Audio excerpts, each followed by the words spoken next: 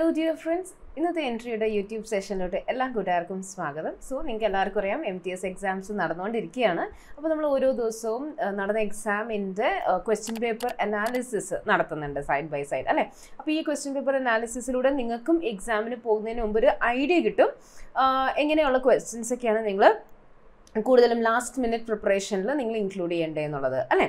അപ്പോൾ ക്വസ്റ്റിനും ആൻസറും ക്വസ്റ്റിനും ആൻസറും മാത്രം പറഞ്ഞ പോലെ റിലേറ്റഡ് ആയിട്ടുള്ള കുറച്ച് ഫാക്ട്സും കൂടി നമ്മൾ അതുകൊണ്ട് തന്നെ ഇൻക്ലൂഡ് ചെയ്യുന്നുണ്ട്. ഓക്കെ അപ്പോൾ ഇന്ന് ഞാൻ വന്നിരിക്കുന്നത് എയ്ത്ത് മെയ് ട്വന്റി ട്വന്റി ത്രീന് നടന്ന ജനറൽ അവയർനെസ് ക്വസ്റ്റ്യൻസ് മാത്രം എടുത്തിട്ടാണ്. അപ്പോൾ മൂന്ന് ഷിഫ്റ്റിൽ നിന്നുമുള്ള ജനറൽ അവയർനെസ് ക്വസ്റ്റ്യൻസ് അപ്പോൾ അപ്രോക്സിമേറ്റ്ലി ഒരു സെവന്റി ഫൈവ് കാരണം നമുക്ക് മെമ്മറി ബേസ്ഡ് ആണ്. എല്ലാ ക്വസ്റ്റ്യൻസ് ഒന്നും കിട്ടണമെന്നില്ല. അപ്പോൾ അതുകൊണ്ട് തന്നെ കുറച്ച് ക്വസ്റ്റ്യൻസ് ഒക്കെ കുറവായിരിക്കും. ബട്ട് അപ്രോക്സിമേറ്റ്ലി നമ്മൾ പറയുകയാണെങ്കിൽ ഓൾ ഒരു അറൌണ്ട് സെവന്റി ഫൈവ് ക്വസ്റ്റ്യൻസ് ഇനി മോർ ദാൻ സെവന്റി ക്വസ്റ്റ്യൻസ് ഉണ്ട്. സോ നിങ്ങൾക്ക് നിങ്ങൾ എന്റെ കൂടെ തന്നെ ആൻസർ ചെയ്യാനും ശ്രമിക്കാം. ഓക്കെ അപ്പോൾ നമുക്ക് ക്വസ്റ്റ്യനോട് കിടക്കാം. ആദ്യം നമ്മൾ നോക്കാൻ പോകുന്നത് ഫസ്റ്റ് ഷിഫ്റ്റിൽ ചോദിച്ച ക്വസ്റ്റ്യൻസ് ആണ് കേട്ടോ സോ ഒന്നും കൂടി പറയുന്നത് eighth May first shift questions ആണ് നമ്മൾ നോക്കുന്നത്. ആദ്യത്തെ ചോദ്യം നോക്കാം. Tattvabodhini Sabha was established in which year അപ്പോൾ നിങ്ങൾ മൊബൈൽ ഫോണിലൂടെയാണ് ഇത് കേൾക്കുന്നതെങ്കിൽ മൊബൈൽ ഫോൺ മാറ്റി വെച്ചോളൂ. ക്വസ്റ്റ്യൻസ് കേട്ടിട്ട് സ്വന്തമായിട്ട് ആൻസർ ചെയ്യാൻ പറ്റുന്നുണ്ടോ എന്നൊന്ന് ട്രൈ ചെയ്ത് നോക്കൂ കേട്ടോ so Tattvabodhini Sabha was established in which year Tattvabodhini Sabha ആരാണ് സ്റ്റാർട്ട് ചെയ്തത്? ദിബേന്ദ്രനാഥ് ടാഗോർ ആണ്. അല്ലെ? ദേബേന്ദ്രനാഥ് ടാഗോർ ആണ് തത്വബോധിനി സഭ എസ്റ്റാബ്ലിഷ് ചെയ്തത്. വർഷമാണ് ചോദിച്ചിരിക്കുന്നത്. എയ്റ്റീൻ തേർട്ടി നയനിലാണ് ഓക്കെ എയ്റ്റീൻ തേർട്ടി നയനിൽ ദേബേന്ദ്രനാഥ് ടാഗോർ ആണ് തത്വബോധിനി സഭ എസ്റ്റാബ്ലിഷ് ചെയ്തത്. അപ്പോൾ ഇതുപോലെയുള്ള പല ഓർഗനൈസേഷൻസിന്റെ ഇയറും അത് ആരാണെന്നൊക്കെ ഉള്ളത് ചോദിക്കുന്നുണ്ട്. ഇപ്പോൾ ലൈക്ക് ആത്മീയ ബ്രഹ്മ സമാജ് ചോദിച്ചിരുന്നു അല്ലെ? പ്രാർത്ഥനാ സമാജ് ചോദിച്ചിട്ടുണ്ടായിരുന്നു മറ്റൊരു എക്സാമിൽ അപ്പോൾ അങ്ങനെയുള്ള കാര്യങ്ങളൊക്കെ നമുക്ക് ജസ്റ്റ് റിവൈസ് ചെയ്യാം. ആത്മീയ സഭയും ബ്രഹ്മ സമാജും രണ്ടും രാജാറാം മോഹൻ റോയിന്റേതാണ് അല്ലെ? ആത്മീയ സഭ എയ്റ്റീൻ ഫിഫ്റ്റീനിലും ബ്രഹ്മസമാജ് എയ്റ്റീൻ ട്വന്റി എയ്റ്റിലുമാണ് എസ്റ്റാബ്ലിഷ് ചെയ്തത്. ഓക്കെ ആത്മീയ സഭ ബ്രഹ്മസമാജ് രണ്ടും ആരുടേതാണ് രാജാറാം മോഹൻ റോയിന്റേതാണ് ഓക്കെ പിന്നെ എയ്റ്റീൻ സിക്സ്റ്റി സിക്സിൽ ബ്രഹ്മസമാജ് ഓഫ് ഇന്ത്യ കേശവ് ചന്ദ്ര അതായത് അദ്ദേഹം ആക്ച്വലി ഇതിന്റെ ഭാഗമായി ബ്രഹ്മസമാജിൽ ജോയിൻ ചെയ്യുകയും പിന്നീട് അത് സ്പ്ലിറ്റ് ആവുകയും ചെയ്തു. അപ്പോൾ അങ്ങനെ സ്പ്ലിറ്റ് ആയപ്പോൾ ബ്രഹ്മസമാജ് ഓഫ് ഇന്ത്യ എന്ന് പറയുന്ന ഒരു ഫോ ഒരു വിങ് ഒരു ഒരു സെക്ഷൻ അത് ഫോം ചെയ്തത് കേശവ് ചന്ദ്ര സേനാണ്. പിന്നെ എയ്റ്റീൻ സെവന്റിയിൽ ഇന്ത്യൻ റിഫോം അസോസിയേഷൻ അതും സ്റ്റാർട്ട് ചെയ്തത് Keshav Chandra സേനാണ് eighteen sixty seven Prarthana Samaj start ചെയ്തത് ആരാണ്? ബ്രദേഴ്സ് ആണ് രണ്ട് ബ്രദേഴ്സ് ദാദോബ പാണ്ഡുരംഗും ആത്മാറാം പാണ്ഡുരംഗും. കൂടുതലും ചോദിക്കാറുള്ളത് വരാറുള്ളത് സാധാരണ ഓപ്ഷൻസിൽ ആത്മാറാം പാണ്ഡുരംഗാണ്. ആത്മാറാം പാണ്ഡുരംഗിന്റെ കൂടെ അദ്ദേഹത്തിന്റെ ബ്രദറായ ദാദോബ പാണ്ഡുരംഗും ഉണ്ടായിരുന്നു. ഓക്കെ സോ ഇത്രയും ഈ കുറച്ച് ഓർഗനൈസേഷൻസ് മാത്രമേ ഞാൻ ഇൻക്ലൂഡ് ചെയ്തിട്ടുള്ളൂ. കാരണം നമ്മൾ ഓർഗനൈസേഷൻ മാത്രം പറയാൻ പോയി അതൊരു സെഷനായി മാറും.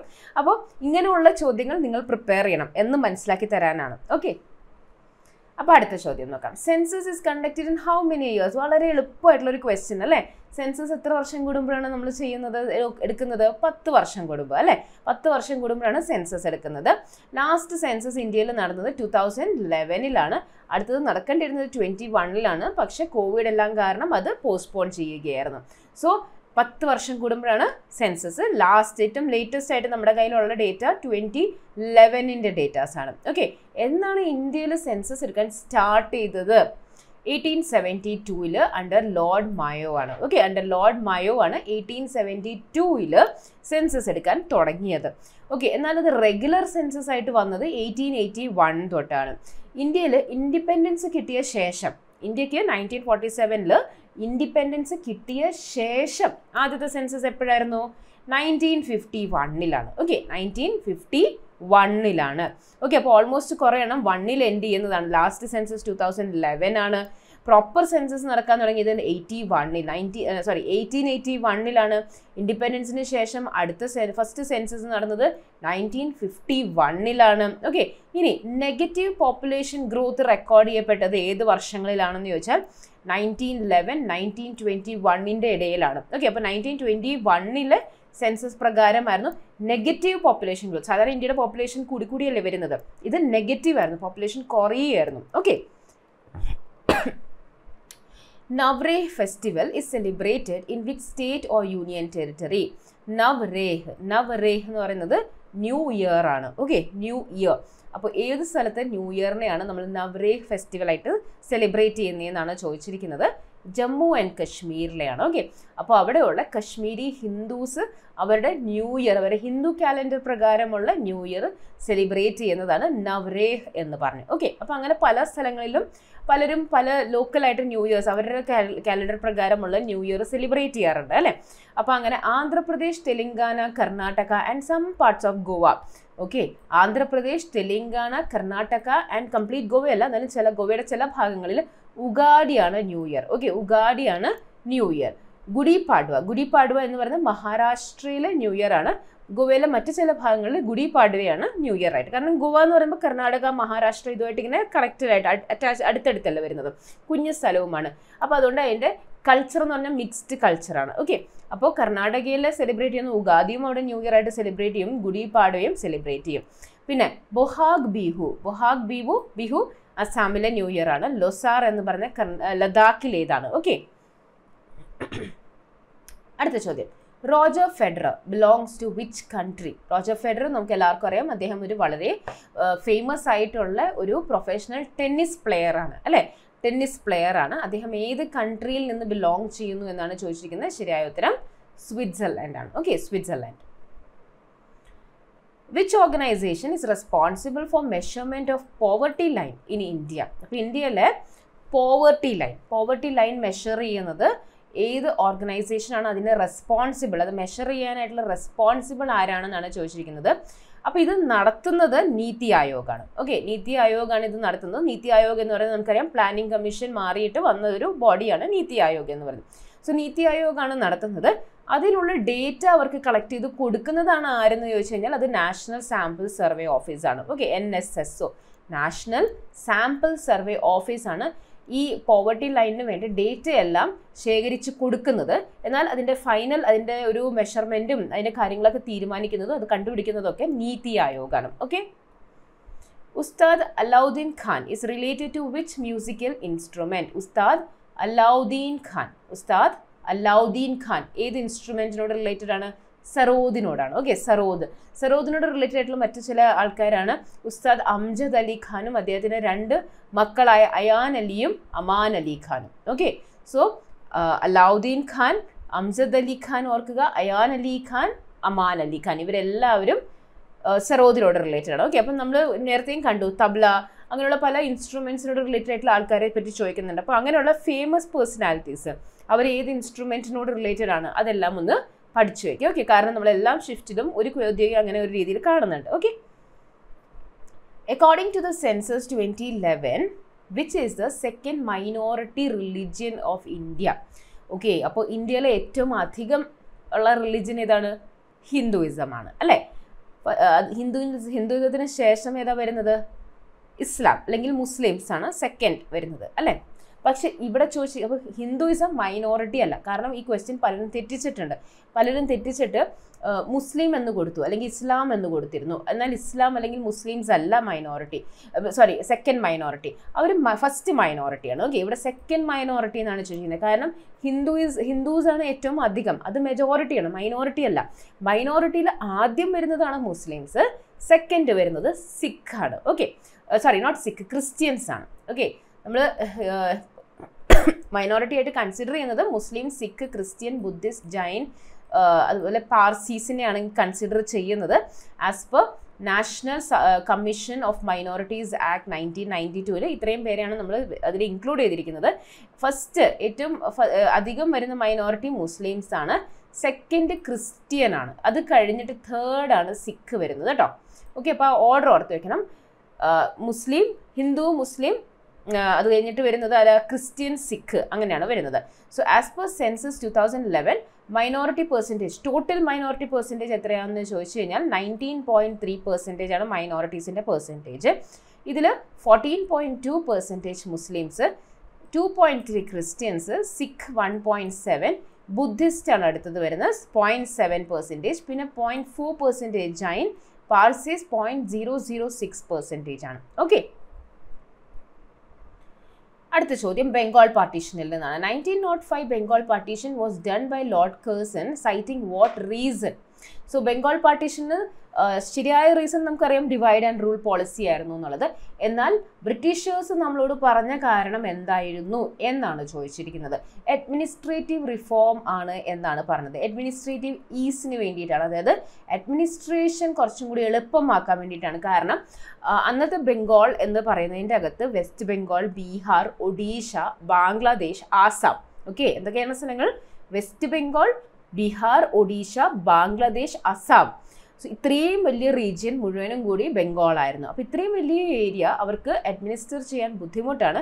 അതുകൊണ്ട് പല ഏരിയാസും ഡെവലപ്പ് ആകുന്നില്ല എന്ന് പറഞ്ഞത് എന്ന് റീസൺ പറഞ്ഞുകൊണ്ടാണ് അവരതിനെ ഡിവൈഡ് ചെയ്തത്. ഓക്കെ സോ അഡ്മിനിസ്ട്രേറ്റീവ് റിഫോം ആണ് എന്നാണ് അവർ പറഞ്ഞത്. Difficulty in administrating such a large area അതുകൊണ്ട് രണ്ട് പ്രൊവിൻസസ് ആയിട്ട് തിരിച്ചു. Bengal province with capital Calcutta and eastern Bengal and Assam with capital Dhaka Bengal എന്ന് പറയുന്നതിന്റെ അകത്ത് വെസ്റ്റ് ബംഗാൾ ഒഡീഷ ബീഹാർ റീജിയൻസ് പോയി. ഇതൊരു ഹിന്ദു മെജോറിറ്റി റീജിയൻ ആയിരുന്നു. ആൻഡ് ഇതിന്റെ ക്യാപിറ്റൽ എന്ന് പറയുന്നത് കാൽക്കട്ടയായിരുന്നു okay and eastern Bengal and Assam അതിന്റെ ക്യാപിറ്റൽ ധാക്കയായിരുന്നു അതൊരു മുസ്ലിം മെജോറിറ്റി റീജിയൻ ആയിരുന്നു. ബേസിക്കലി അവർ ഹിന്ദുസ് ആൻഡ് മുസ്ലിംസിനെ സെപ്പറേറ്റ് ചെയ്യാനാണ് ഉദ്ദേശിച്ചിരുന്നത്. Which Pallava capital was visited by Hiuen Tsang Hiuen Tsang ആരുടെ സമയത്താണ് ഇന്ത്യയിൽ വന്നത്? എപ്പോഴും ഞാൻ പറയുന്നൊരു കാര്യമാണ്. എങ്ങനെ ഓർക്കേണ്ടത്? ഹുവാൻ സാങ് എച്ച് അപ്പോൾ ഹർഷവർദ്ധൻ എച്ച് ഓക്കെ ഹർഷവർദ്ധന്റെ സമയത്താണ് അദ്ദേഹം ഇന്ത്യ വിസിറ്റ് ചെയ്യാൻ വരുന്നത്. ഇന്ത്യ വിസിറ്റ് ചെയ്യാൻ വന്നു. വന്നു കഴിഞ്ഞപ്പോഴേക്കും അദ്ദേഹം സദേൺ പാർട്ടിലോട്ട് വരുമ്പോൾ ആ സമയത്ത് സദേൺ പാർട്ടിലുണ്ടായിരുന്ന വളരെ ഫേമസ് ആയിട്ടുള്ള റൂളർ ഉണ്ടായിരുന്നു. റൂളേഴ്സ് ആയിരുന്നു ഈ പറഞ്ഞ പല്ലവാസ്. അപ്പോൾ പല്ലവാസിന്റെ സമയത്താണ് പല്ലവാസിന്റെ ക്യാപിറ്റലായ കാഞ്ചീപുരം വിസിറ്റ് ചെയ്യാനാണ് അദ്ദേഹം പോയത്. Xuanzang visited India during Harsha's time and അദ്ദേഹം എഴുതിയതാണ് Si Yu Ki okay Si Yu Ki most important ruler of Pallavas Narasimhavarman one ആണ്. Okay Narasimhavarman one how many languages are listed in the eighth schedule of Indian constitution വളരെ എളുപ്പമായിട്ടുള്ള question ആണ് അല്ലേ? എത്ര languages ആണ് നമ്മുടെ eighth ഷെഡ്യൂളിൽ കൊടുത്തിരിക്കുന്നത്? എയ്ത്ത് ഷെഡ്യൂളിൽ എന്ന് പറയുന്നത് നമ്മുടെ ലാംഗ്വേജസിന്റെ ലിസ്റ്റ് ആണ് അല്ലേ?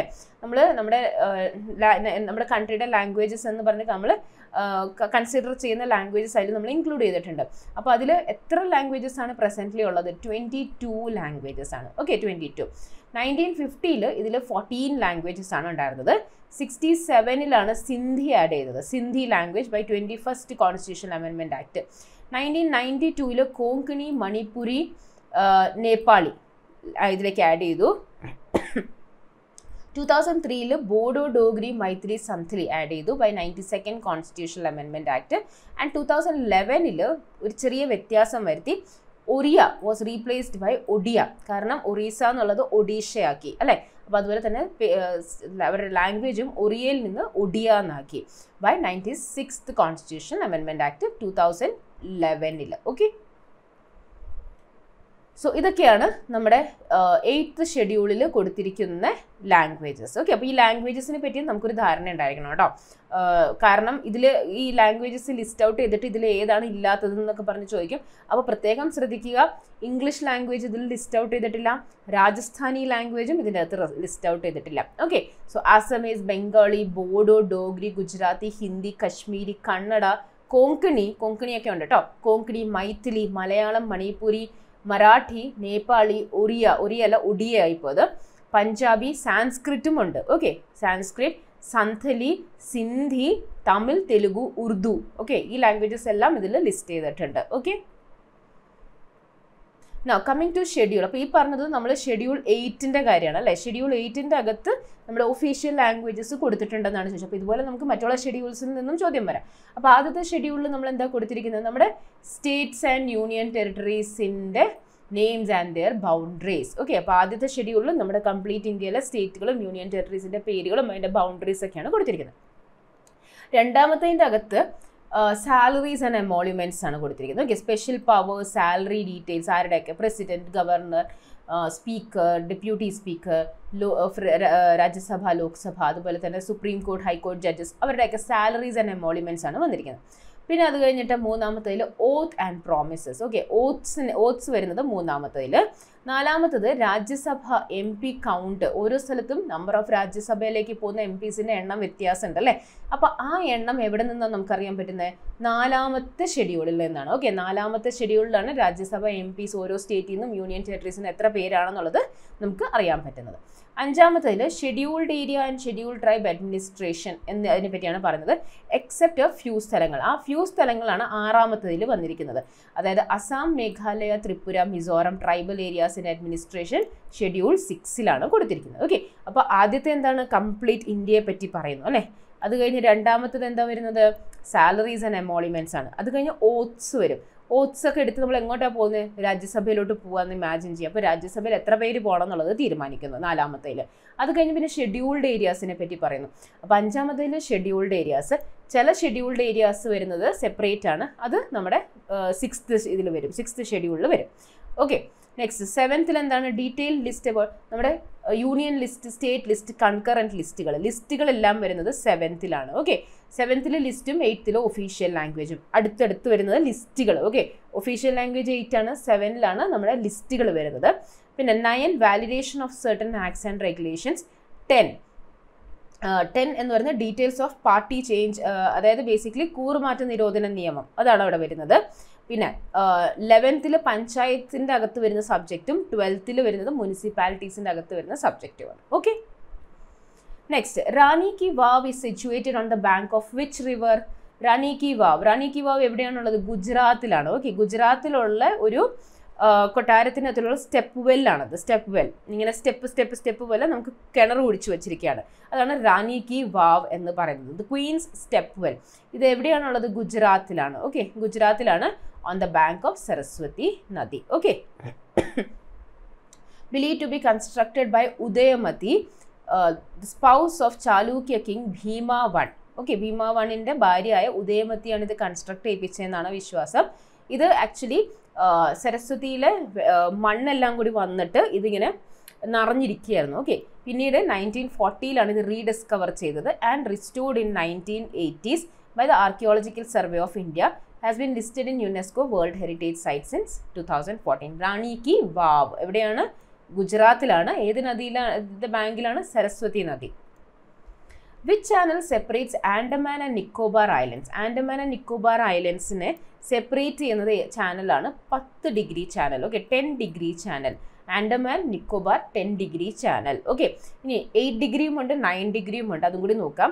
നയൻ ഡിഗ്രി ചാനൽ മെയിൻ ലക്ഷദ്വീപിനെ മിനിക്കോയ് ഐലൻഡ്സിൽ നിന്ന് സെപ്പറേറ്റ് ചെയ്യുന്നു. Okay Lakshadweep main part of ലക്ഷദ്വീപിനെ Minicoy ഐലൻഡ്സിൽ നിന്ന് സെപ്പറേറ്റ് ചെയ്യുന്നത് നയൻ ഡിഗ്രി ചാനലാണ് ആൻഡ് എയ്റ്റ് ഡിഗ്രി ചാനൽ മിനിക്കോയിനെ മാൽദീവ്സിൽ നിന്ന് സെപ്പറേറ്റ് ചെയ്യുന്നു. ഓക്കെ സോ മെയിൻ ഐലൻഡിനെ ലക്ഷദ്വീപിനെ മെയിൻ ഐലൻഡിനെ മിനിക്കോയിൽ നിന്ന് സെപ്പറേറ്റ് ചെയ്യുന്നത് നയൻ ഡിഗ്രി മിനിക്കോയിനെ നമ്മുടെ മാൽഡീവ്സിൽ നിന്ന് സെപ്പറേറ്റ് ചെയ്യുന്നത് എയ്റ്റ് ഡിഗ്രി ചാനലാണ് okay which language became the medium of education in eighteen thirty five okay അപ്പോൾ സംതിങ് ലൈക്ക് ദിസ് ഈ ക്വസ്റ്റ്യൻ അത്രയ്ക്ക് അങ്ങോട്ട് ക്ലിയർ അല്ല.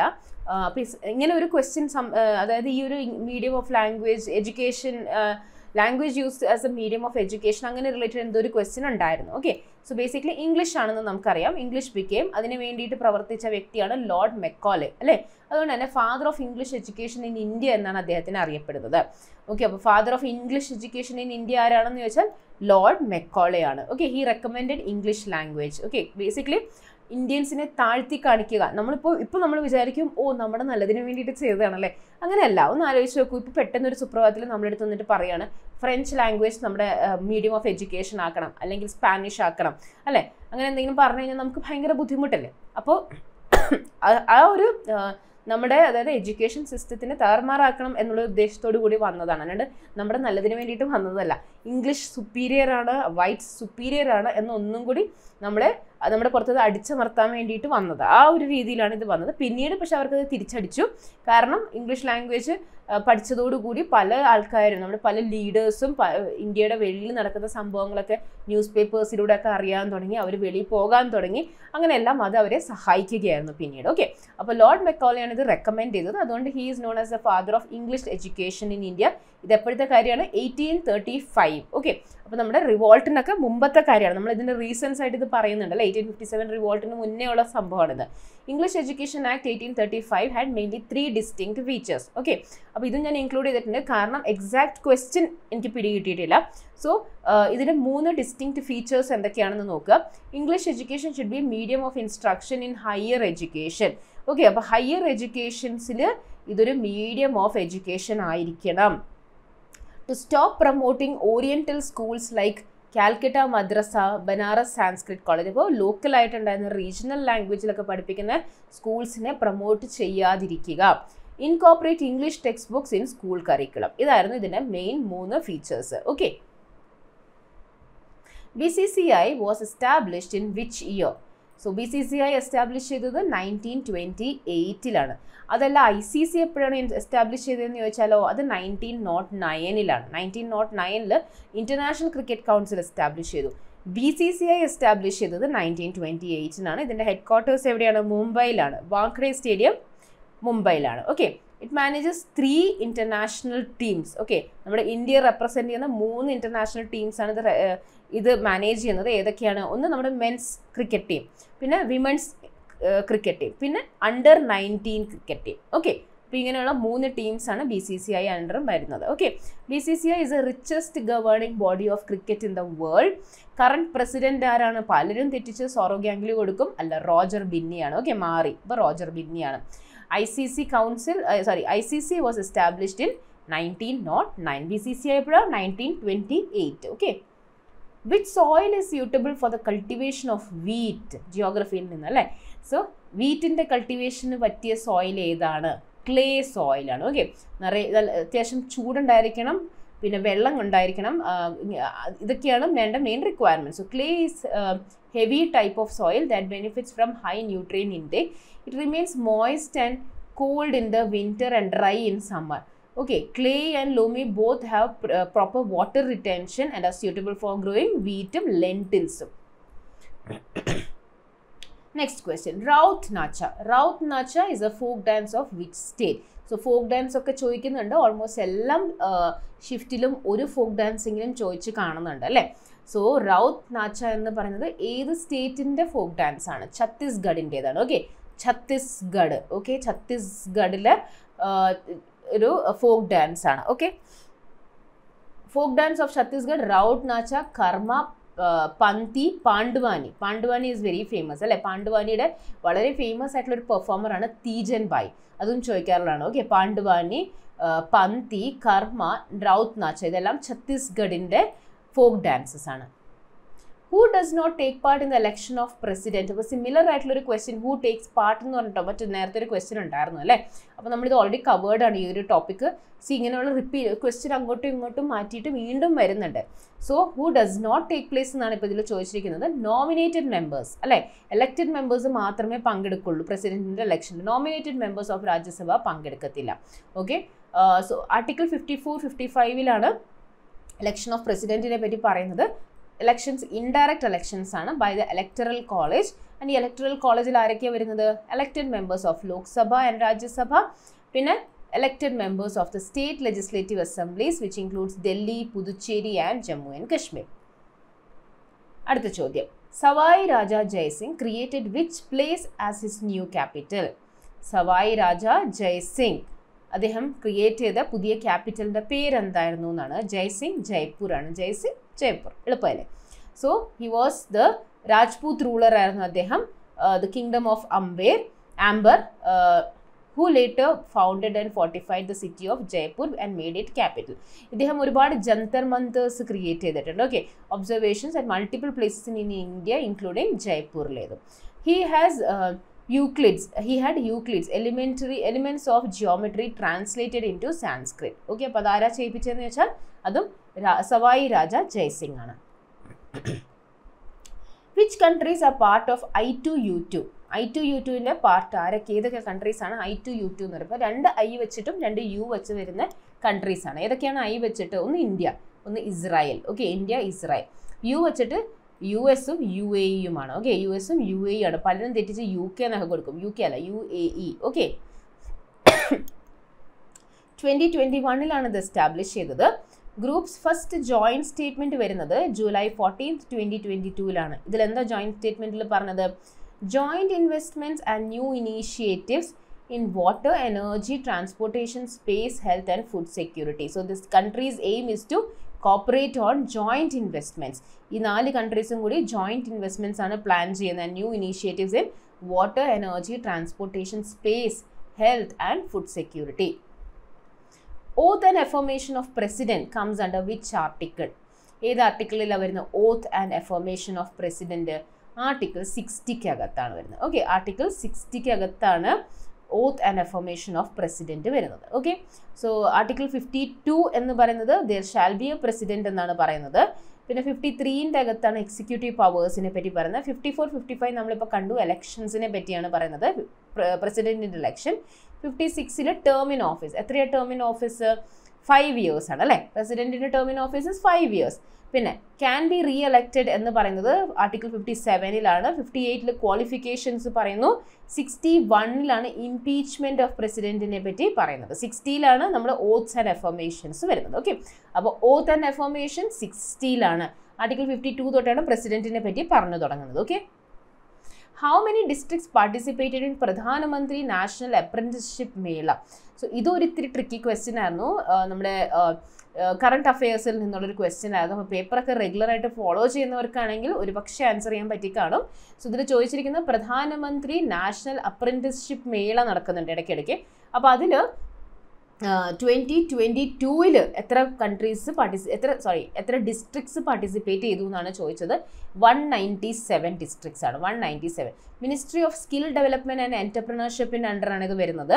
പ്രധാനമന്ത്രി നാഷണൽ അപ്രന്റിസ്ഷിപ്പ് മേള ഇത് ഡിസംബർ ട്വൽത്ത് ട്വന്റി ട്വന്റി ടൂവിന് നയന്റി വൺ നയന്റി സെവൻ ഡിസ്ട്രിക്ട്സിലാണ് നടത്തിയത് across twenty five states and union territories okay അതേപോലെ ജാനുവരി നയൻത്ത് ട്വന്റി ട്വന്റി ത്രീയിൽ നടക്കുന്നതിന്റെ അകത്ത് ടു ഫോർട്ടി ടു ഡിസ്ട്രിക്ട്സിലാണ് നടക്കുന്നത്. ഓക്കെ ടു ഫോർട്ടി ടു ഡിസ്ട്രിക്ട്സിലാണ് ജാനുവരി ട്വന്റി ട്വന്റി ത്രീയിൽ ഇപ്പോൾ റീസെന്റ്ലി നടന്നത്. ഏറ്റവും ഒടുവിൽ നടന്നത് ഈ മെയ് എയ്ത്തിനാണ് ഇതിന്റെ നടന്നിരിക്കുന്നത്. Okay what is the main mineral constituent of continental mass കോണ്ടിനെന്റിന്റെ oceanic മാസം ഉണ്ട് കോണ്ടിനെന്റലും ഉണ്ട്. അപ്പോൾ അതിൽ കോണ്ടിനെന്റിന്റെ മെയിൻ മിനറൽ കോൺസ്റ്റിറ്റ്യൂവന്റ് എന്ന് പറയുന്നത് എന്താണെന്നാണ് ചോദിച്ചിരിക്കുന്നത്? സിയാൽ എന്നാണ് നമ്മൾ പറയുന്നത്. C all. സി എന്ന് പറയുന്നത് സിലിക്ക ആൽ എന്ന് പറയുന്നത് അലുമിന. ഓക്കെ. അപ്പോൾ കോണ്ടിനെന്റൽ മാസിന്റേത് സിയാൽ ആണ്. Silica and alumina. ഓഷ്യനിന്റെ ആണെങ്കിൽ സിമ എന്നാണ് പറയുന്നത്. Sima. Silica and magnesium. Okay. Silica and magnesium ആണ് ഓഷ്യനിന്റെ okay. Fluid present between cell membrane and the nucleus. Cell membrane ഇപ്പം നമ്മുടെ ഇതൊരു സെല്ലാണെങ്കിൽ സെൽ മെംബ്രെയിൻ ആണ് നമ്മളിപ്പോൾ വരച്ചിരിക്കുന്നത്. ഇത് ന്യൂക്ലിയസ് ആണ് അല്ലേ? ഇതിന്റെ ഇടയിൽ വരുന്ന ഇവിടെ വരുന്ന ഈ ഫ്ലൂയിഡിനെ പറയുന്ന പേരെന്താണെന്നാണ് ചോദിച്ചിരിക്കുന്നത്. ആകെ മൊത്തമുള്ളതിനെ നമ്മൾ പ്രോട്ടോപ്ലാസം എന്ന് പറയും. ടോട്ടൽ ഫ്ലൂയിഡ് സെല്ലിന്റെ അകത്തുള്ള മൊത്തം ഫ്ലൂയിഡിനെ നമ്മൾ പ്രോട്ടോപ്ലാസം എന്ന് പറയും. ആ പ്രോട്ടോപ്ലാസിനെ നമ്മൾ രണ്ടായിട്ട് ഡിവൈഡ് ചെയ്തിട്ടുണ്ട്. ഇവിടെ വരുന്നതിനെ നമ്മൾ സൈറ്റോപ്ലാസം എന്ന് പറയും. ആൻഡ് ഇതിന്റെ അകത്ത് വരുന്നതിന് ന്യൂക്ലിയോപ്ലാസം എന്ന് പറയും അല്ലേ? അപ്പോൾ ഇവിടെ പറഞ്ഞിട്ടുണ്ട് between cell membrane and nucleus വരുന്ന ഫ്ലൂയിഡിന് എന്താ പറയുന്നതെന്നാണ് ചോദിച്ചിരിക്കുന്നത്. ബിറ്റ്വീൻ വരുന്നതിനെ നമ്മൾ സൈറ്റോപ്ലാസം എന്നാണ് പറയുന്നത്. Function of sorting packaging and distribution of materials inside a cell is performed by അപ്പോൾ സെല്ലിന്റെ അകത്ത് സാധനങ്ങൾ സോർട്ട് ചെയ്യുക പാക്ക് ചെയ്യുക ഡിസ്ട്രിബ്യൂട്ട് ചെയ്യുക അതൊക്കെ ആരുടെ ജോലിയാണ്? Golgi ബോഡീസിന്റെതാണ് okay Golgi bodies. Traffic police എന്നറിയപ്പെടുന്നത് ഗോൾജി ബോഡീസാണ് സെൽ മെമ്പറിൻ എന്താ ചെയ്യുക? സെൽ മെമ്പറിയിലൂടെയാണ് അങ്ങോട്ടും ഇങ്ങോട്ടും സാധനങ്ങൾ പാസ് ചെയ്യുന്നത്. സെല്ലിന്റെ പുറത്തേക്കും അകത്തേക്കും മൂവ്മെന്റ് ഓഫ് മോളിക്യൂൾസ് നടക്കുന്നത്. പ്രോട്ടോപ്ലാസം ഫിസിക്കൽ ബേസിസ് ഓഫ് ലൈഫാണ് മൈറ്റോകോൺട്രിയ പവർ ഹൗസ് ആണ്. ഇവിടെയാണ് എ ടി പി സിന്തസിസ് നടക്കുന്നത് അല്ലേ? റൈബോസോംസ് എന്താണ്? സൈറ്റ് ഓഫ് പ്രോട്ടീൻ സിന്തസിസ് ആണ്. പ്രോട്ടീൻ ഫാക്ടറി എന്നാണ് നമ്മൾ അതുകൊണ്ട് അറിയപ്പെടുന്നത്. ലൈസോസോംസ് സ്യൂസൈഡൽ ബാഗ്സ് ആണ്. അതായത് ഇതിന്റെ അകത്ത് ഡൈജസ്റ്റീവ് എൻസൈംസ് ഉണ്ട് which help in digest digestion excretion and cell renewal okay അപ്പോൾ ഇങ്ങനെയുള്ള എല്ലാം സെല്ലിന്റെ മെയിൻ ഓർഗനൽസിന്റെയും നമ്മൾ പഠിക്കുന്ന സമയത്ത് പഠിപ്പിക്കാറുണ്ട് അല്ലേ? നമ്മൾ ഓരോ ക്ലാസ്സിന്റെ സമയത്ത് നമ്മൾ പറയുന്നത് ന്യൂക്ലിയസ് എന്താണ് അങ്ങനെ ഇങ്ങനെ ഓരോന്ന് പറയുന്നത് അപ്പോൾ അതെല്ലാം ഒന്ന് ശ്രദ്ധിച്ചു വെക്കുക കേട്ടോ. ഓക്കെ അപ്പോൾ ഫസ്റ്റ് ഷിഫ്റ്റിന്റെ അവസാനത്തെ ചോദ്യം നോക്കാം. Name the circuit component used to start or stop the flow of current in a circuit ഒരു സർക്യൂട്ടിന്റെ അകത്ത് ഫ്ലോ ഓഫ് കറണ്ട് സ്റ്റാർട്ട് ചെയ്യുകയും സ്റ്റോപ്പ് ചെയ്യുകയും ചെയ്യുന്നത് എന്താണെന്നാണ്? സ്വിച്ചാണ് അല്ലേ? സ്വിച്ച് വെച്ചിട്ടാണ്. ഓക്കെ അപ്പോൾ ഇതായിരുന്നു ഫസ്റ്റ് ഷിഫ്റ്റിലെ ക്വസ്റ്റ്യൻസ് ജനറൽ അവയർനെസ്സിൽ നിന്നുള്ള ഇരുപത്തഞ്ച് ചോദ്യങ്ങൾ അടുത്ത ഷിഫ്റ്റ് സെക്കൻഡ് ഷിഫ്റ്റിലെ ചോദ്യങ്ങൾ നമുക്ക് നോക്കാം. സോ എങ്ങനെ ഉണ്ടായിരുന്നു? ഫസ്റ്റ് ഷിഫ്റ്റുകൾ ആയിരുന്നില്ലേ സെക്കൻഡ് ഷിഫ്റ്റ് നമുക്ക് നോക്കാം. അതും വളരെ സിമ്പിളാണ് നമുക്ക് നോക്കാം. ഫോക്ക് ഡാൻസ് ഓഫ് രാജസ്ഥാൻ അപ്പോൾ ഞാൻ പറഞ്ഞു ഫോക്ക് ഡാൻസിൽ നിന്നൊക്കെ ധാരാളം ക്വസ്റ്റ്യൻസ് വരുന്നുണ്ട് അല്ലേ?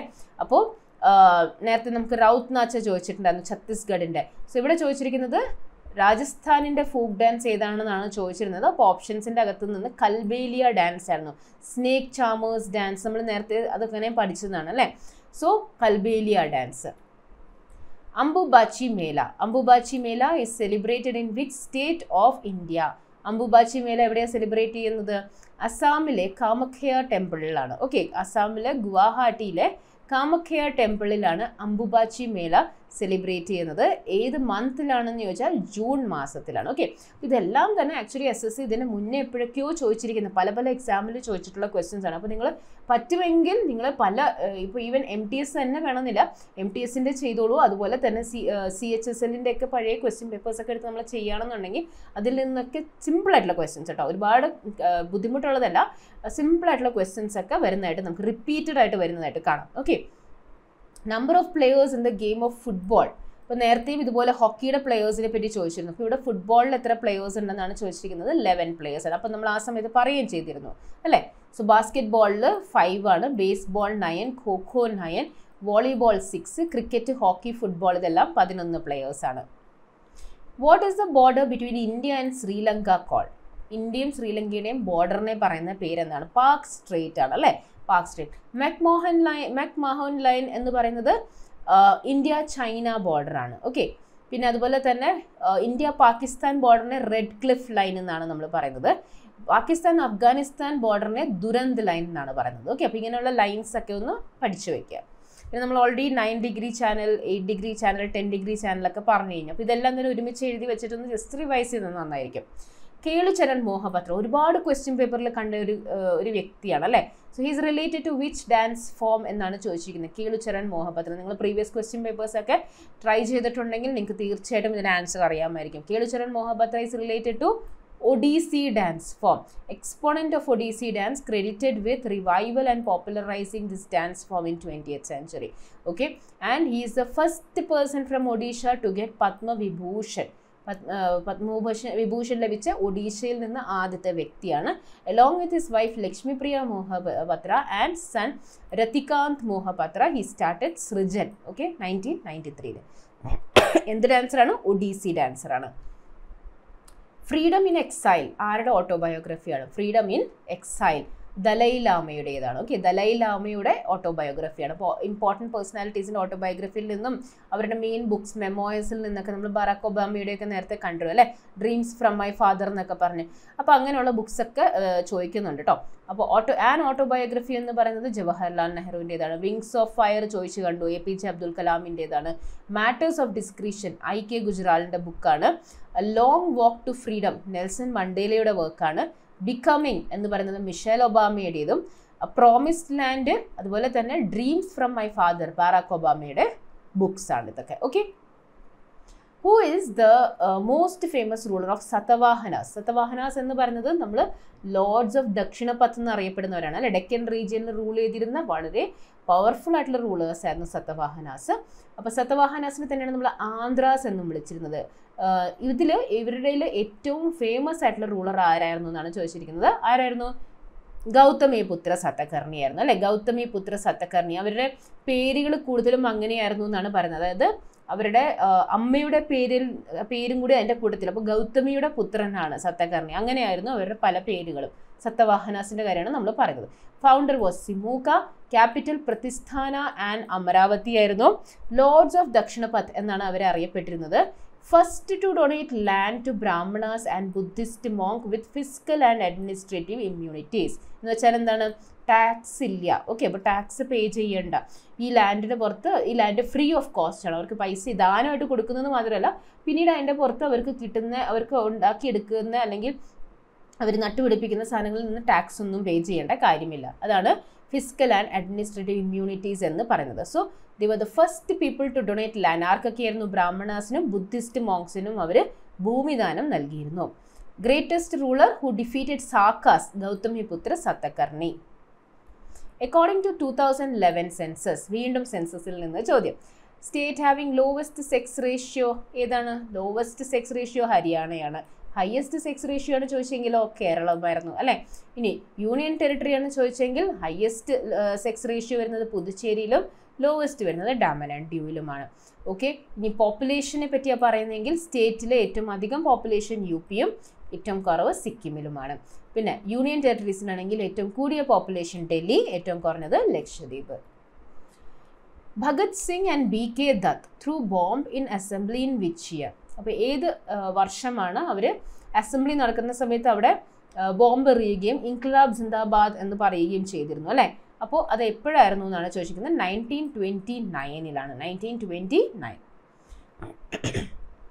founder of Udaipur city നമ്മൾ നേരത്തെ ജയ്പൂരിന്റെ കണ്ടു അല്ലേ? ഇനി ഉദയപൂരിന്റെ ഫൗണ്ടർ ആരാന്നാണ് ചോദിച്ചിരിക്കുന്നത്? റാണ ഉദയ് സിംഗ് ആണ്. റാണ ഉദയ് സിംഗ്. ഇദ്ദേഹവും ഒരു രാജ്പൂത് റൂളർ ആയിരുന്നു. ശിശോദിയ ക്ലാനിൽ പോയിട്ട് ഒരു രാജ്പൂത് റൂളർ ആയിരുന്നു ഫിഫ്റ്റീൻ ഫിഫ്റ്റീൻ നയനിലാണ് ഉദയ് സിംഗ് ടു ആണ് ഉദയ്പൂർ സിറ്റി ഫോം ചെയ്തത്. He shifted his capital from the city of Chittorgarh to Udaipur after Chittorgarh was besieged by Akbar Akbar Chittorgarh attack ചെയ്തപ്പോൾ അവിടെ നിന്ന് ക്യാപിറ്റൽ ഉദയ്പൂരിലോട്ട് മാറ്റുകയായിരുന്നു ഫിഫ്റ്റീൻ ഫിഫ്റ്റി നയനിൽ known as ഉദയ്പൂരിനെ Udaipur is known as city of lakes Venice of east കാരണം ഒരുപാട് lakes ഒക്കെ ഉള്ളതുകൊണ്ട് ഓക്കെ സിറി കൾച്ചർ സയൻസിൽ നിന്നുള്ള ചോദ്യമാണ്. Sericulture is related to the production of എന്തിന്റെ പ്രൊഡക്ഷനാണ് സിറികൾച്ചർ സിൽക്കിന്റെ പ്രൊഡക്ഷനാണ് അല്ലേ? ഫ്ലോറികൾച്ചർ എന്ന് പറഞ്ഞാൽ എന്താണ്? ഫ്ലവേഴ്സ് പ്ലാന്റ്സിന്റെ കൾട്ടിവേഷൻ ഫോർ ഫ്ലവേഴ്സ് പിസ്സിക്കൾച്ചർ ഫിഷാണ് വിറ്റിക്കൾച്ചർ ഗ്രേപ്സ് ആണ്.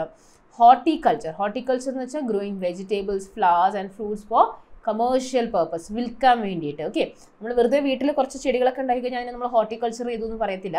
അത് നമ്മൾ കമേഴ്ഷ്യൽ പർപ്പസിന് വേണ്ടിയിട്ട് നമ്മൾ കടകളിലേക്ക് കൊടുക്കാൻ വേണ്ടിയിട്ടൊക്കെ നമ്മൾ കുറച്ചും കൂടി കൂടുതൽ സ്കെയിലിൽ ഉണ്ടാക്കുമ്പോഴാണ് നമ്മൾ അതിനെ ഹോർട്ടിക്കൾച്ചർ എന്ന് പറയാം.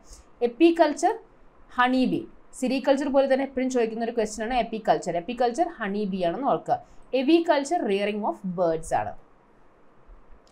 Freedom of religion is given in which article freedom of religion freedom of religion വരുന്നത് ട്വന്റി ഫൈവ് ടു ട്വന്റി എയ്റ്റിന്റെ ഇടയ്ക്കാണ് സോ ക്വസ്റ്റ്യൻ പേപ്പറിന്റെ അകത്ത് ട്വന്റി സിക്സ് കൊടുത്തിരുന്നു എന്ന് പറഞ്ഞു. അപ്പോൾ അങ്ങനെയാണെങ്കിൽ ട്വന്റി സിക്സ് ആണ് കൊടുക്കുക. Okay so twenty five to twenty എയ്റ്റിന്റെ അകത്താണ് ഫ്രീഡം ഓഫ് റിലീജിയൻ വരുന്നത്. നമുക്ക് സിക്സ് ഫണ്ടമെന്റൽ റൈറ്റ്സ് ആണുള്ളത് അല്ലേ? Right to equality right to freedom right against exploitation right to freedom of religion പിന്നെ കൾച്ചറൽ ആൻഡ് എഡ്യൂക്കേഷണൽ റൈറ്റും right to constitutional റെമഡീസും okay so ഇതൊക്കെയാണ് നമ്മുടെ fundamental rights equality freedom right against exploitation religion educational rights ഉണ്ട് and constitutional റെമഡീസും ഉണ്ട്. Okay who is called captain cool ആ പേരിൽ ആ വ്യക്തിക്ക് വ്യക്തിയെ പറ്റി ബുക്കും എഴുതപ്പെട്ടിട്ടുണ്ട് അല്ലേ? ക്യാപ്റ്റൻ കൂൾ എന്നറിയപ്പെടുന്നത് മഹേന്ദ്ര സിംഗ് ധോണിയാണ് അല്ലെ? ധോണിയാണ് ക്യാപ്റ്റൻ കൂൾ എന്ന് പറയുന്നത്.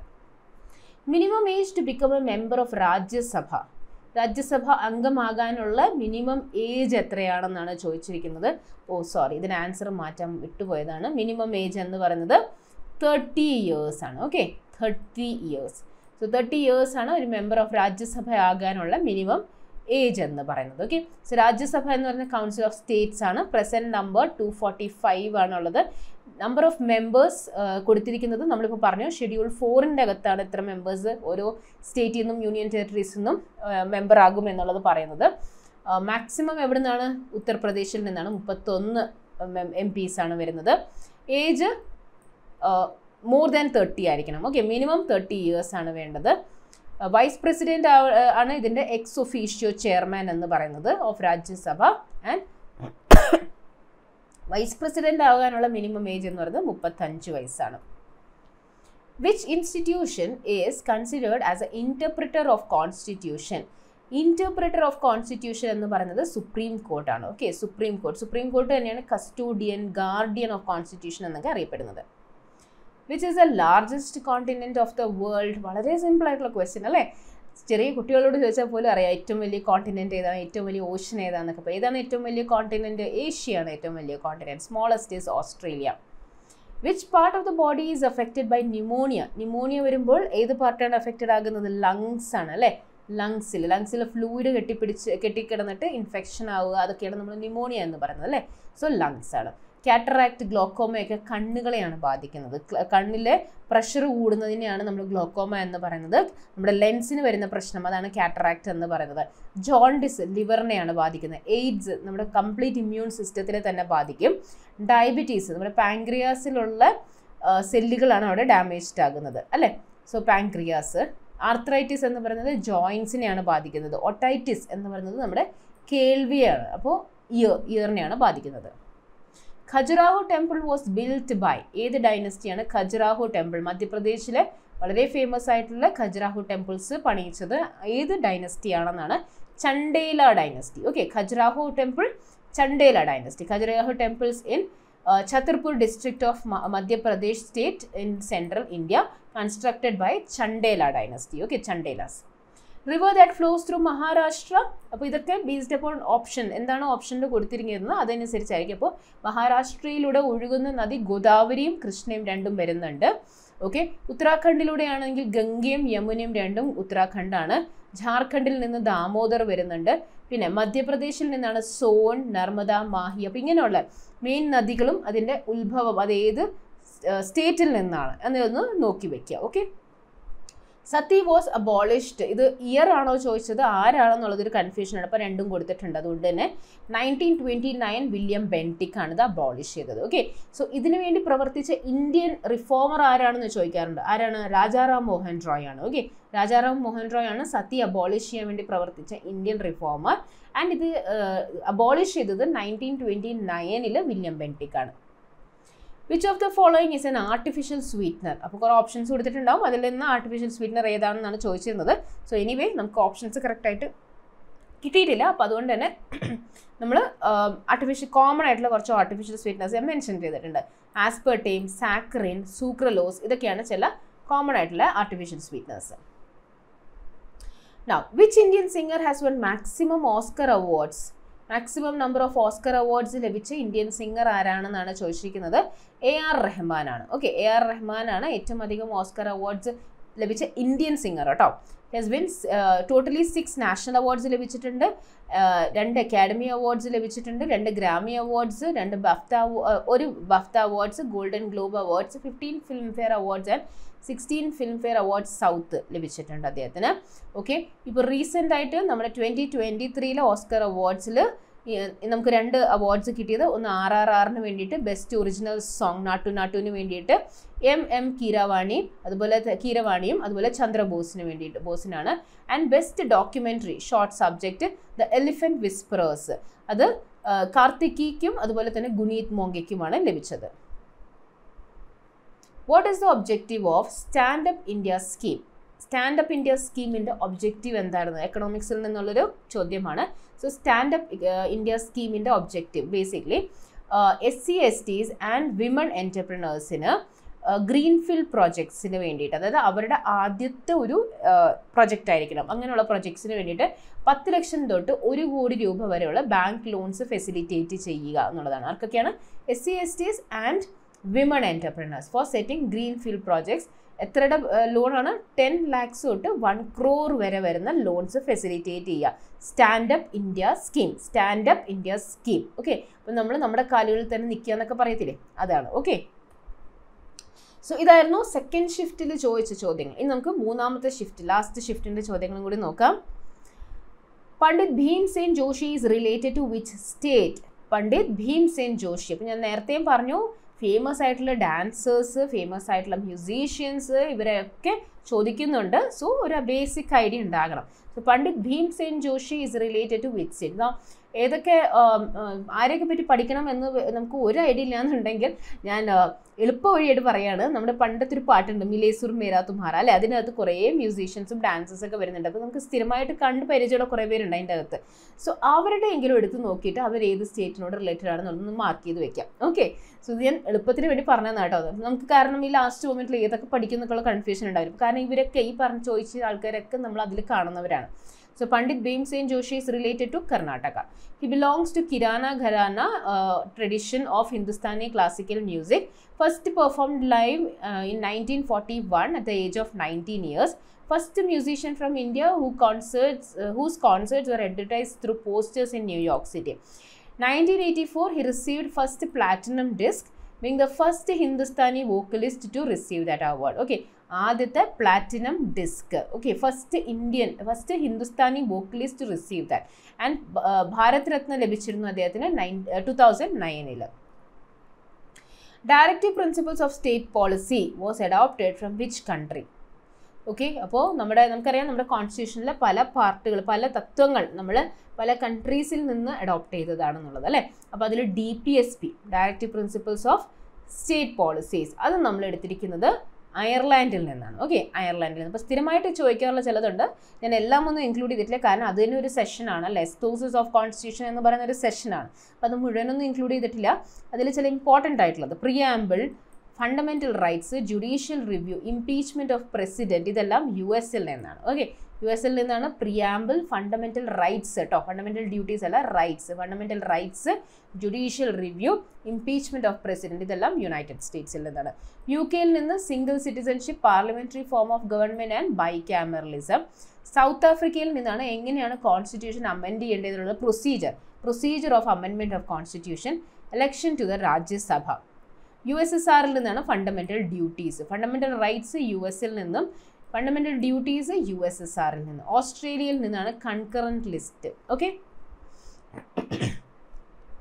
Delhi high court was established in Delhi high court എപ്പോഴാണ് എസ്റ്റാബ്ലിഷ് ചെയ്തത്? നേരത്തെ ഒരു ചോദ്യം ഉണ്ടായിരുന്നു. Union territory to have a high court ഏതാണെന്നുള്ളത്. അല്ലേ? അതിപ്പോൾ നമ്മൾ നമ്മളന്ന് പറയുന്നു ഡൽഹി ഹൈക്കോർട്ട് ആണെന്നുള്ളത്. ഇനി ചോദിച്ചിട്ടുണ്ട് ഡൽഹി ഹൈക്കോർട്ട് എപ്പോഴാണ് എസ്റ്റാബ്ലിഷ് ചെയ്തത്? അപ്പോൾ നയന്റീൻ സിക്സ്റ്റി സിക്സിലാണ് ഡൽഹി ഹൈക്കോർട്ട് എസ്റ്റാബ്ലിഷ് ചെയ്തിട്ടിരുന്നത്. ഓക്കെ ആദ്യത്തെ ഹൈക്കോർട്ട് ഏതായിരുന്നു? ഓൾഡസ്റ്റ് ഹൈക്കോർട്ട് ഏതാണ്? അതൊരിക്കൽ ചോദിച്ചിട്ടുണ്ട് അല്ലേ? കാൽക്കട്ടയിലാണ്. ഏത് ഇയറാണ് eighteen sixty two eighteen sixty ടൂവിൽ തന്നെയാണ് മറ്റു രണ്ടെണ്ണം കൂടി വന്നത്. പക്ഷേ ഡേറ്റ് വ്യത്യാസമുണ്ട്. ഇത് സെക്കൻഡ് ജൂലൈ ആണ്. അത് പിന്നീടാണ്. Second July eighteen sixty two first വന്നത് കാൽക്കട്ട ഹൈക്കോർട്ടാണ്. പിന്നീട് വന്നത് എയ്റ്റീൻ സിക്സ്റ്റി ടുവിലെ ബോംബെ മെഡ്രാസ്. ആൻഡ് നാലാമത്തെ ഹൈക്കോർട്ടാണ് നമ്മുടെ Allahabad high court eighteen sixty സിക്സിൽ okay total number of high courts ഇപ്പോൾ ഉള്ളത് ട്വന്റി ഫൈവ് ആണ്. ഇതിൽ ഏറ്റവും ലാസ്റ്റ് ഫോം ചെയ്തത് ആന്ധ്രാപ്രദേശ് ഹൈക്കോർട്ട് അമരാവതിയിൽ two thousand നയന്റീനിൽ state having highest literacy rate as per നമ്മുടെ census two thousand eleven highest literacy rate വളരെ സിമ്പിളാണ് അല്ലെ? കേരളമാണെന്ന് എല്ലാവർക്കും അറിയാം. ലോവസ്റ്റ് ലിറ്ററസി റേറ്റ് ആണെങ്കിലോ? ബിഹാറാണ്. Union territory with lowest literacy rate Dadra Nagar Haveli. And highest literacy rate വരുന്ന union territory is Lakshadweep. When was Harijan Sevak Sangh founded by Mahatma Gandhi so Harijan Sevak Sangh Gandhiji form ചെയ്തത് എപ്പോഴാണ്? Nineteen thirty ടൂവിലാണ് nineteen thirty ടൂവിലാണ് ഹരിജൻ സേവക് സംഘം form ചെയ്തത് Mahatma Gandhi okay അതുപോലെ തന്നെയുള്ള പല ഡേറ്റ്സ് ആണ് കൊടുത്തിരിക്കുന്നത്. I N C Indian National Congress eighteen eighty five Muslim League form ചെയ്യുന്നത് നയന്റീൻ നോട്ട് സിക്സ് ഓർക്കുക. ബംഗാൾ പാർട്ടീഷൻ നയന്റീൻ നോട്ട് ഫൈവിൽ നടന്നു. അത് കഴിഞ്ഞപ്പോഴാണ് മുസ്ലിം ലീഗ് ഫോം ചെയ്യുന്നത്. ഓക്കെ നയന്റീൻ ഫിഫ്റ്റീനിൽ ഹിന്ദു മഹാസഭ ഫോം ചെയ്യുന്നു. Eighteen seventy five Arya Samaj. Hindustan Socialist Republican Association nineteen twenty eight nineteen തേർട്ടീനിൽ Ghadar party എന്ന് ഫോം ചെയ്യുന്നു. India Indian Women's Association nineteen seventeen blackbuck national park is associate is located in blackbuck national park എവിടെയാണ്? ഗുജറാത്തിലാണ്. Okay നേരത്തെ ഗുജറാത്തിൽ നിന്നുള്ള ഗിർ ഫോറസ്റ്റിനെ പറ്റി ചോദിച്ചിട്ടുണ്ടായിരുന്നു. Okay പിന്നെ മറൈൻ നാഷണൽ പാർക്ക് ആദ്യത്തെ നാഷണൽ മെറൈൻ ആദ്യത്തെ മറൈൻ നാഷണൽ പാർക്ക് ഇന്ത്യയിലെ ഗുജറാത്തിലാണ്. Vansda national park Velavadar or blackbuck national park. Okay black velvet എന്ന് ഓർത്താൽ മതി. ബ്ലാക്കും ഉണ്ട് വെൽവദാർ. ഓക്കെ അത് ഗുജറാത്തിൽ നിന്നാണ്. What was the venue of I C C women's world cup twenty twenty two okay അപ്പോൾ I C C women's world cup twenty twenty ടുവിന്റെ വെന്യൂ എവിടെയായിരുന്നു എന്നാണ് ചോദിച്ചിരിക്കുന്നത്. വെന്യൂ ന്യൂസിലാൻഡിലായിരുന്നു ഓക്കെ ഇത് ജയിച്ചതാരാണ് ഓസ്ട്രേലിയയാണ് കപ്പ് ജയിച്ചത്. Okay so twenty twenty I C C women's world cup final was women's one day international played between Australia and England and അതിൽ ഓസ്ട്രേലിയയാണ് വിന്നേഴ്സ് ആയത്. Which of the following books were not written by Harshavardhan okay അപ്പോൾ പുഷ്യഭൂതി ഡൈനസ്റ്റിയിലെ അല്ലെങ്കിൽ വർദ്ധന ഡൈനസ്റ്റിയുടെ most important റൂളറാണ് ഹർഷവർദ്ധൻ എന്ന് നമുക്കറിയാം. നമ്മൾ നേരത്തെയും പറഞ്ഞു ഹുവാൻസാങ് വിസിറ്റ് ചെയ്ത കാര്യമൊക്കെ നമ്മൾ പറഞ്ഞു അപ്പോൾ ഹർഷവർദ്ധന്റെ കുറച്ച് ബുക്സ് കൊടുത്തിട്ട് അതിൽ നിന്ന് ഹർഷവർദ്ധൻ എഴുതിയിട്ടില്ലാത്തത് ഏതാണെന്നാണ് ചോദിച്ചത്. So ഹർഷവർദ്ധന്റെ mainly works are Nagananda Padmava Priyadarshika പിന്നെ രത്നാവലി. ഓക്കെ നാഗനന്ദ രത്നാവലി പ്രിയദർശിക ഇതാണ് ഹർഷവർദ്ധന്റെ വർക്ക്സ് കൊടുത്തിരുന്നതിൽ അല്ലാത്തത് അമുക്ത മല്യാദയാണ് അമുക്ത മല്യാദ എന്ന് പറഞ്ഞാൽ കൃഷ്ണദേവരായയുടെ വർക്കാണ് ഓക്കെ കൃഷ്ണദേവരായയുടെ വർക്കാണ് Amukta Malyada Harshavardhan was the greatest ruler of Vardhana dynasty six nought six A ഡിയിലാണ് അദ്ദേഹം റൂളർ ആകുന്നത്. അങ്ങനെയാണ് ഹർഷ ഈറ സ്റ്റാർട്ട് ചെയ്യുന്നത് അദ്ദേഹമാണ് ക്യാപിറ്റൽ കന്നൗജ് ആക്കിയത്. ആൻഡ് കന്നൗജിന്റെ പഴയ പേരെന്താണെന്ന് ചോദിക്കാറുണ്ട്? Kanyakubja. Kanyakubja. Other names were Siladitya Sakalottara Patheshvara in Chalukya records and മൂന്ന് ബുക്സ് മൂന്ന് പ്ലേസ് ആണ് അദ്ദേഹം എഴുതിയ Nagananda Ratnavali Priyadarshika. Which of the following books were written by Rabindranath Tagore okay ഈ കൊടുത്തിരിക്കുന്നതിൽ രവീന്ദ്രനാഥ് ടാഗോർ എഴുതിയ ബുക്ക് ഏതാണെന്നാണ് ചോദിച്ചിരുന്നത്. ഓക്കെ അപ്പോൾ പലരും ഗീതാഞ്ജലി ഒക്കെയാണ് എക്സ്പെക്ട് ചെയ്യുന്നത്. അതല്ലായിരുന്നു ഇവിടെ കൊടുത്തിരുന്നത്. ഗാൽ പഗുച്ച ഓക്കെ ഗാൽ പഗുച്ച എന്ന് പറയുന്ന ബുക്കായിരുന്നു. പ്രൊണൗൺസിയേഷൻ തെറ്റിയിട്ടുണ്ടെങ്കിൽ ക്ഷമിക്കുക. ഇതായിരുന്നു അദ്ദേഹം എഴുതിയിരുന്ന ബുക്ക്. നയന്റീൻ ലെവനിൽ ഹി കമ്പോസ് ജനഗണമന അത് പിന്നീട് നമ്മുടെ നാഷണൽ ആന്തമായി മാറുകയായിരുന്നു. രാഗം ശങ്കരാഭരണം. ആൻഡ് ഇത് എപ്പോഴാണ് നാഷണൽ ആന്തമായി നമ്മൾ സ്വീകരിച്ചത്? Nineteen fifty twenty fourth January അല്ലേ? അത് കഴിഞ്ഞ് ഇത് ആദ്യമായി പാടിയത് എവിടെ വെച്ചിട്ടായിരുന്നു ആക്ച്വലി ജനഗണമന നമ്മൾ ശരിക്കും ഫസ്റ്റ് പാടിയിട്ടുള്ളത് എവിടെ വെച്ചിട്ടാണ്? നയന്റീൻ ലെവനിലെ കാൽക്കറ്റ സെഷനിൽ വെച്ചിട്ട് പാടിയിട്ടുണ്ട്. Okay national anthem was first published in Tattvabodhini Tagore was awarded Nobel prize എന്തിനു വേണ്ടിയിട്ടായിരുന്നു? ലിറ്ററേച്ചറിലുള്ള നൊബേൽ പ്രൈസ് ആണ് അദ്ദേഹത്തിന് ലഭിച്ചത്. ഗീതാഞ്ജലിക്ക് വേണ്ടിയിട്ട്.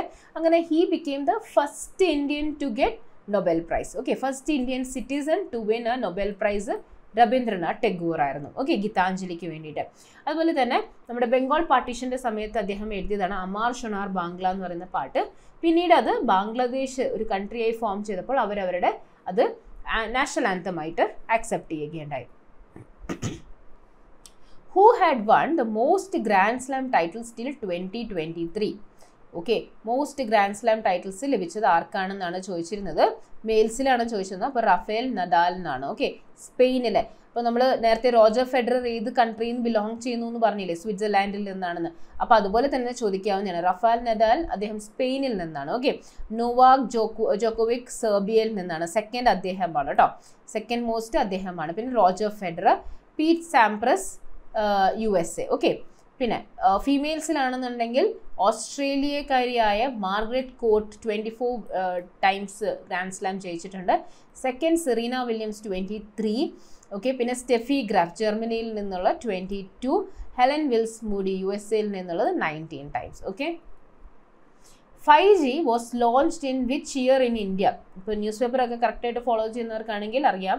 കാരണം അത് വളരെ റീസെന്റ് ആയിട്ടാണ്. ഒക്ടോബർ ഫസ്റ്റ് ട്വന്റി ട്വന്റി ടുവിനാണ് ഫൈവ് ജി ഇന്ത്യയിൽ ലോഞ്ച് ചെയ്യുന്നത്. പ്രൈം മിനിസ്റ്റർ നരേന്ദ്രമോദിയാണ് ഡൽഹിയിലാണ് ഇത് ലോഞ്ച് ചെയ്തത്. ഓക്കെ എവിടെയാണ്? ഡൽഹിയിലാണ് ലോഞ്ച് ചെയ്തത്. Okay at present only Bharti Airtel and Reliance Jio are the two telecom operators to offer five G which was the first planned city by Mughals അപ്പോൾ ഒരുപാട് planned cities നമ്മൾ ഉണ്ടാക്കുന്നുണ്ട് അല്ലേ? Emperors ഒക്കെ പല പല പ്ലാൻഡ് സിറ്റീസ് ഒക്കെ form ചെയ്യും. ആഗ്ര അതുപോലെ തന്നെ ഷാജഹാബാദ് എന്നൊക്കെ പറഞ്ഞ പല പല പ്ലാൻഡ് സിറ്റീസ് ഒക്കെ ഫോം ചെയ്യും. അപ്പോൾ അതിൽ മുഗൾസിന്റെ ആദ്യത്തെ പ്ലാൻഡ് സിറ്റി ഏതായിരുന്നു എന്നാണ് ചോദിച്ചിരിക്കുന്നത്? അത് ഫത്തേഹപൂർ സിക്രി ആയിരുന്നു. ഓക്കെ? അക്ബർ ആണത് പണിയിച്ചത്. Okay? Fatehpur Sikri. Who was the founder of Khilji dynasty വളരെ സിമ്പിളാണ് അല്ലെ? എല്ലാ ഫൗണ്ടേഴ്സും പഠിച്ചു വെക്കണം ഞാൻ എപ്പോഴും പറയുന്നൊരു കാര്യമാണ്. സോ ഖിൽജി ഡൈനസ്റ്റിയുടെ ഫൗണ്ടർ ആരായിരുന്നു? ജലാലുദ്ദീൻ ഖിൽജി ആയിരുന്നു. ഓക്കെ ജലാലുദ്ദീൻ ഖിൽജി എന്നാൽ ഏറ്റവും ഇമ്പോർട്ടന്റ് റൂളർ എന്ന് പറയുന്നത് അലാവുദ്ദീൻ ഖിൽജി ആയിരുന്നു. ഇദ്ദേഹത്തിന്റെ നെഫ്യൂ ആയിരുന്നു സൺ ഇൻ ലോ ആയിരുന്നു ജല അലാവുദ്ദീൻ ഖിൽജി ഓക്കെ ജലാലുദ്ദീൻ ഖിൽജി ആയിരുന്നു ഫൗണ്ടർ സ്ലേവ് ഡൈ അപ്പോൾ ഇത് വരുന്നത് നമ്മുടെ ഡൽഹി സൽത്തനത്തിന്റെ അണ്ടറാണ് അപ്പോൾ ഡൽഹി സൽത്തനത്തിന്റെ അണ്ടർ അഞ്ച് ഡൈനസ്റ്റീസ് ആണ് വരുന്നത്. അപ്പോൾ അതിൽ ഖിൽജീസിന്റെ കാര്യം നമ്മൾ പറഞ്ഞു. സ്ലേവ് ഡൈനസ്റ്റിയുടെ ഫൗണ്ടർ കുത്തുബ്ദീൻ ഐബക്ക് ആണ്. തുഗ്ലക്സിന്റെ ഗിയാസുദ്ദീൻ തുഗ്ലക് ആണ്. പിന്നെ വരുന്ന ഇമ്പോർട്ടന്റ് റൂളർ ആരാണ്? മുഹമ്മദ് ബിൻ തുഗ്ലക് ഫിറോസ് ഷാ തുഗ്ലക്ക് ഒക്കെ വരുന്നുണ്ട്.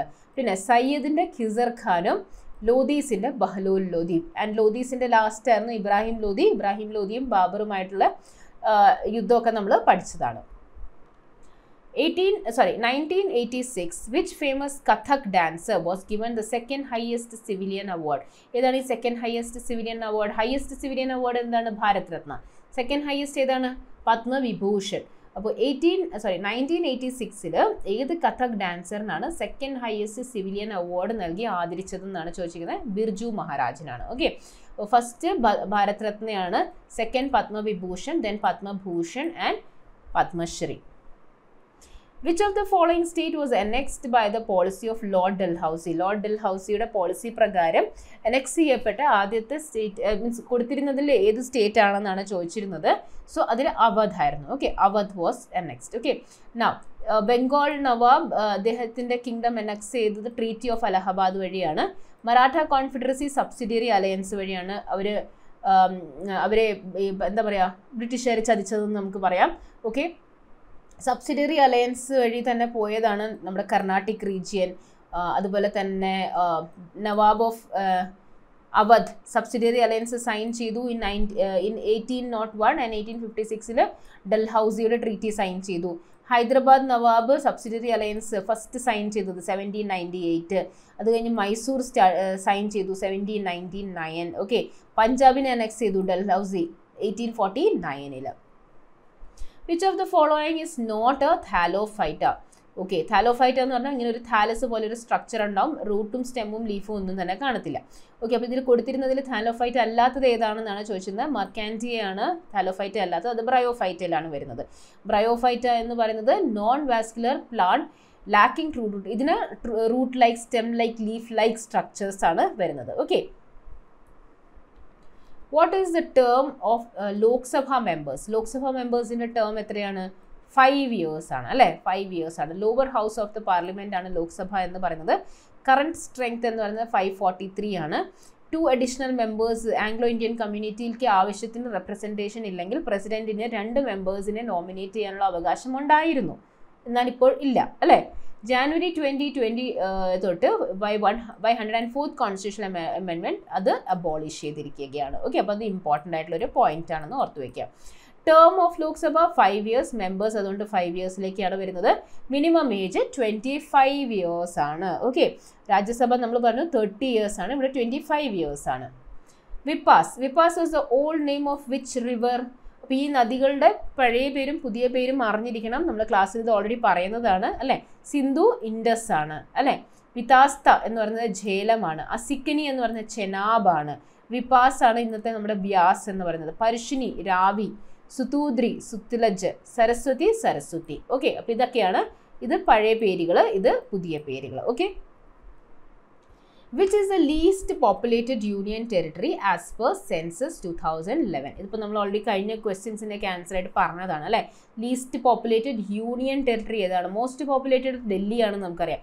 ലീസ്റ്റ് പോപ്പുലേറ്റഡ് ഏതാണ്? ലക്ഷദ്വീപ് ആണ് ലീസ്റ്റ് പോപ്പുലേറ്റഡ് ആയിട്ടുള്ള union territory Jharkhand's famous festival for sowing seeds കൃഷി തുടങ്ങുന്ന മുമ്പ് നമ്മൾ ഈ വിത്തൊക്കെ വിതക്കില്ലേ അപ്പോൾ ആ സമയം അതിന്റെ ഒരു ഫെസ്റ്റിവൽ ഉണ്ട് ജാർഖണ്ഡിൽ. അതിനെ പറയുന്ന പേരാണ് Rohini okay Rohini which principle states that bad money drives out good? Okay അപ്പം bad money drives out good എന്ന് പറയുന്ന പ്രിൻസിപ്പിളിനെ പറയുന്ന പേരെന്താണ്? Gresham's law okay Gresham's law എന്നാണ് പറയുന്നത്. Bad money drives out good okay ഇരുപത്തിരണ്ടാമത്തെ ചോദ്യം നോക്കാം. Which is a heaviest naturally occurring element with atomic number two ninety eight grams വളരെ സിമ്പിൾ ആയിട്ടുള്ള ഒരു ക്വസ്റ്റ്യൻ എത്ര ഏതാണ്? ഹെവിയസ്റ്റ് നാച്ചുറലി ഒക്കറിങ് എലിമെന്റ് ഏതാണ്? യുറാനിയം ആണ് അല്ലെ? റേഡിയോ ആക്റ്റീവ് എലിമെന്റ് ആയ യുറാനിയമാണ് heaviest naturally occurring element and അതിന്റെ ആറ്റമിക് വെയിറ്റ് എന്ന് പറയുന്നത് ടു നയന്റി എയ്റ്റ് ഗ്രാംസ് ആണ്.